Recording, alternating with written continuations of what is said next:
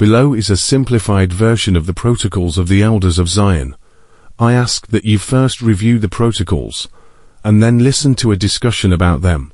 Consider this. Could creating a fake document outlining a conspiracy be the most effective way to discredit any real discussion of an actual conspiracy? 1. Control of the media.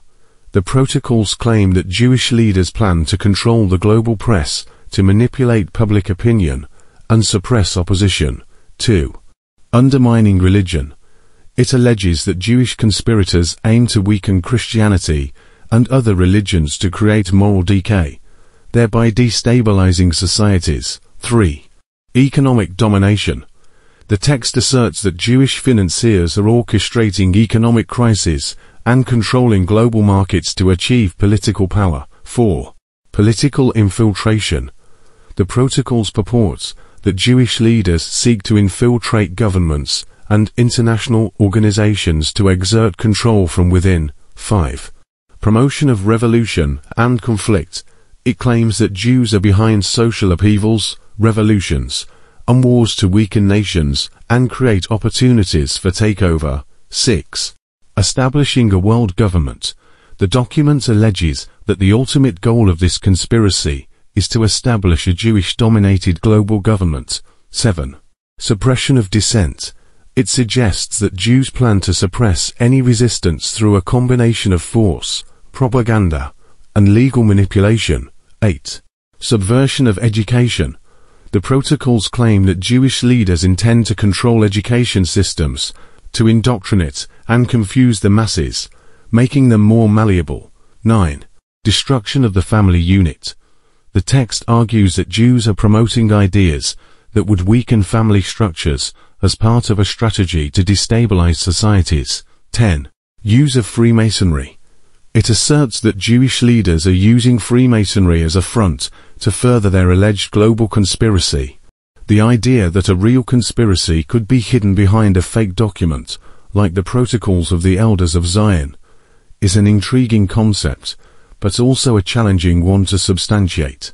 This notion would rely on several psychological and socio-political dynamics, misdirection, and disinformation. A fake document like the protocols could serve as a form of misdirection, drawing public attention away from real issues or conspiracies. By focusing on a fabricated narrative, the document could divert scrutiny from actual, unrelated activities that are happening behind the scenes, discrediting legitimate concerns. Once a document like the protocols is exposed as a forgery, it can lead to the broader discrediting of any related concerns or discussions. For example, if there were legitimate questions about power dynamics or the influence of certain groups, these might be dismissed outright as just another conspiracy theory because of their association with a known hoax, reinforcing cynicism and paranoia. A fake document can fuel paranoia and cynicism, making it harder for people to distinguish between truth and fiction.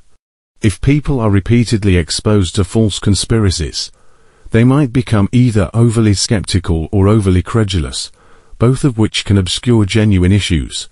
Overloading with falsehoods, by flooding the public discourse with false information, those behind a potential real conspiracy could create an environment where the truth is difficult to discern. The asterisk protocols asterisk might be just one piece of a larger puzzle of misinformation that clouds people's judgment and distracts them from looking at the actual events or power structures, creating a straw man. The protocols could function as a straw man conspiracy, a false narrative that is easy to disprove and ridicule. When people focus on debunking the fake conspiracy, they might overlook more subtle, genuine conspiracies that don't fit the same sensational mold. Polarizing public opinion. A document like the protocols can polarize public opinion, splitting people into opposing camps. This division can be exploited to prevent unified opposition against any real issues or conspiracies that might be at play, as people are too busy fighting over the authenticity or implications of the fake document. So in confusion, the existence of a widely recognized fake like the protocols can contribute to an atmosphere of confusion, where all conspiracy theories are lumped together, making it more difficult to address actual misconduct. Genuine concerns might be dismissed with the same skepticism applied to the false document. Undermining trust. A fake document can undermine trust in legitimate sources of information and institutions. If people are repeatedly deceived, they might begin to question everything, including genuine investigations or reports, thus making it easier for a real conspiracy to remain hidden in plain sight. In summary, while there's no concrete evidence to suggest that the protocols of the elders of Zion were intentionally created to hide a real conspiracy, the dynamics of misinformation, disinformation, and public perception could theoretically allow a real conspiracy to be obscured by such a fake document. The key mechanism would be the confusion, mistrust, and distraction sown by the falsehood, which might lead people to miss or dismiss genuine issues.